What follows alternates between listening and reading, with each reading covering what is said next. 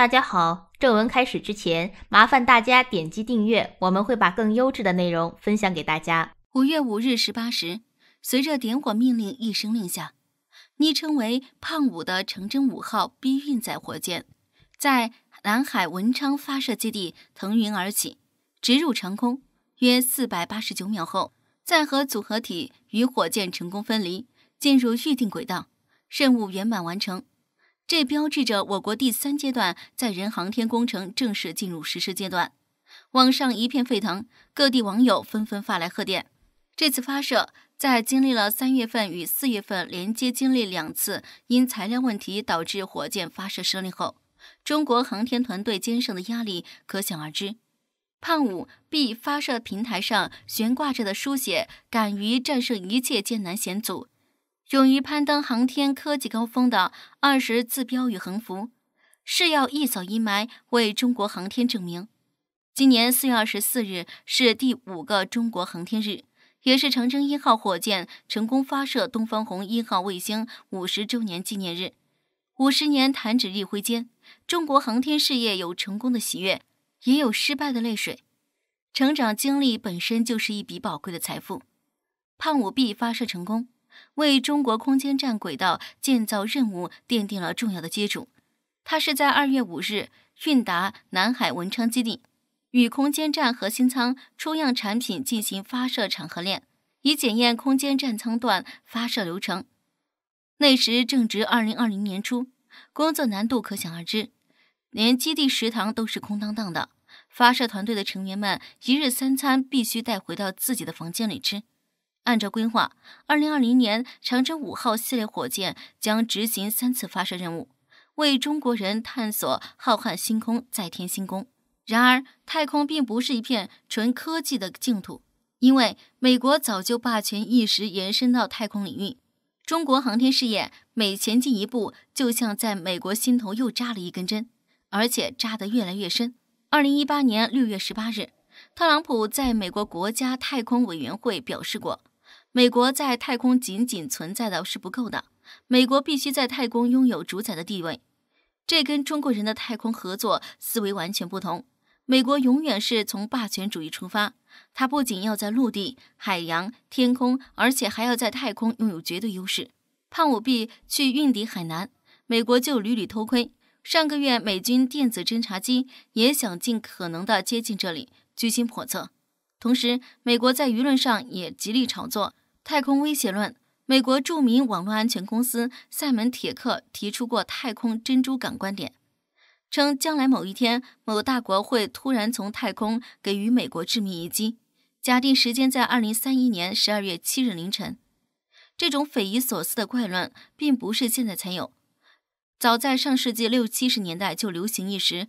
那时，魔鬼是青面獠牙的苏联，现在太空威胁论落到了野心勃勃的中国头上。二零一九年八月二十九日，特朗普宣布美国太空司令部正式成立，下辖八十七个单位，任命四星上将约翰·雷蒙德为司令部司令。接下来就是要将太空军事化，实现美国在太空拥有主宰地位。美国能破坏地球上的秩序，同样也会破坏太空秩序。他不会将中国当成太空合作者，而认定为中国是威胁者。人类如何利用太空？各国早就达成过共识，遵从两个原则：一、自由空间；二、和平利用。联合国大会在一九六六年就通过了外层空间条约，美国也是签字国之一。健康的太空探索，各国应该既是有合作又有竞争，在技术上你追我赶。远的不说，在这两年中，马斯克的猎鹰九号将六十颗星链卫星送上太空。俄罗斯将智能机器人用联盟号飞船送入空间站，日本 H2A 运载火箭成为国际空间站指定的货运火箭，以色列也发射了自己的登月器，连印度也跃跃欲试想要登月。但美国政府提出主宰地位，显然是与两大原则相悖，这就是美国的契约精神、自由意志。如何让大家相信美国是太空合法主宰者呢？让美国太空军的太空军事计划具有合理性呢？在陆地、海洋、天空，美国为了遏制中国发展，还能以捍卫民主为幌子拉拢小弟跟他折腾。那么外太空怎么办？美国要给外星人送民主，因此美国得换个套路，必须在舆论上制造出一个可怕的太空敌人，这样他为捍卫太空这个理由才能成立。美国对中国太空领域的技术进步为何感到如此焦虑？王室军力能遍布全球，除了雄厚的财力外，还有无人可比的卫星系统。没有这些卫星，王室指挥和作战能力就无法压倒其他国家军队。美国全天候通信、监督、侦察和精确制导武器系统都离不开卫星。强大的卫星系统是保障美国在太空领先他国的核心领域。出于自我保护的原则，这也是中国军事战略中必须迎头赶上的领域。落后就要挨打，这是中华民族的历史教训。但美国最烦的就是这种事。你居然有反击能力，这样就很不民主了。中国的太空计划是为了人类和平发展，但美国不这么看。我们的太空行动被西方媒体渲染成了群军事计划，美国则说自己的太空计划由非军事机构航空航天局领导，没有军事色彩，他们才是人类和平的真正的保护神。早在神五首次上天时。白宫就将中国的空间项目视为威胁，每一次发射都成为一次威胁。中国载人航天计划是一个正在崛起的大国必须做的事情，然而它并不受美国欢迎。当初不带我们玩、排挤我们的人，现在跟画圈圈诅咒是同一拨人。美国已经将中国的航天事业发展上升到威胁美国安全的高度，也不准欧盟盟友这样做。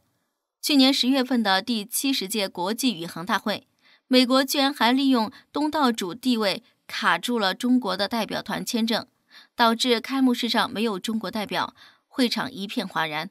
一个超级大国手段如此不做，从另外一个侧侧面，美国对中国航天事业的发展深深敌意。太空竞争是国家综合实力的比拼，它应当是有秩序、有规矩进行。但美国正在不断破坏已有的秩序和规则。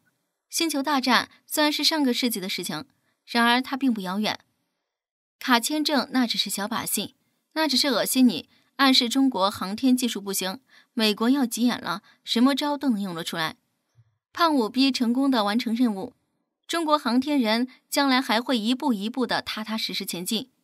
我们的征途是星辰大海，但也别忘记看着脚下的路。任何时候都不要低估美国的作恶能力，让那些内外反动派们在我面前发抖吧，让他们去说我们这也不行那也不行吧。中国人民的不屈不挠的努力，必将稳步的达到自己的目的。实际上，中国会选择建造属于自己的空间站，都要感谢美国当初一声拒绝。当初美国主导建设国际空间站时，邀请了许多国家，最终确定美国、俄罗斯、日本、加拿大。英国等十六个国家共同参与国际空间站建设，而如今中国空间站却引得多国纷纷倒戈。目前的国际空间站始于一九九八年开始建造，时至今日已经运行了八千多天了，将在二零二四年到期。而美国目前迟迟没有新的空间站计划，而我国主导建设的天关空间站计划于二零二零年前后投入使用。在国际空间站前后到期的时候，我国的天宫空间站成为唯一的一个国际空间站。据悉，中国空间站建设之初，曾有六十多个国家请求参与。在前段时间公布的名单中，已经有十七个国家合作参与天宫空间站设计。从两份名单中，我们可以看到，此前与美国在国际空间站项目的十五个合作伙伴中，已经有九个国家都倒戈中国。这说明大多数国家还是挺有眼光的。当初国际空间站建设之际，美国用一个冠冕堂皇的理由将我国拒之门外。俄罗斯作为重要建设成员之一，想要邀请中国访问国际空间站，结果仍遭美国的拒绝。如今各国纷纷倒戈，尤其是俄罗斯率先宣布不参加国际空间站建设，而选择加入中国空间站计划。不知道美国有没有后悔呢？而最令美国人感到头疼的是。美国由于自身原因，在中国空间站合作申请中落选。这样一来，等到国际空间站落幕，美国将沦落到无空间站可用的地步。此次中国空间站任务开门红，将给后续空间核心舱、实验舱发射等任务奠定下坚实的基础。未来，一座由我国主导、多国参与建设的天宫空间站将取代旧的国际空间站，这一天已经不再遥远。今天的节目就到这里，喜欢的朋友别忘记点赞、分享、订阅，你们动动手指对我可是意义重大。就这样，我们下期见。